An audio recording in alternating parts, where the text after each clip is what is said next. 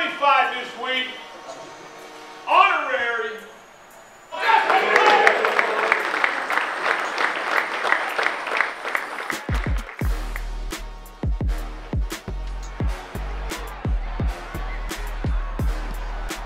I'm very honored to be chosen by Coach Pry and the staff to wear this jersey this week. It was a goal since I got here to wear number 25, and I'm so grateful to put it on against Georgia Tech. Go Hokies.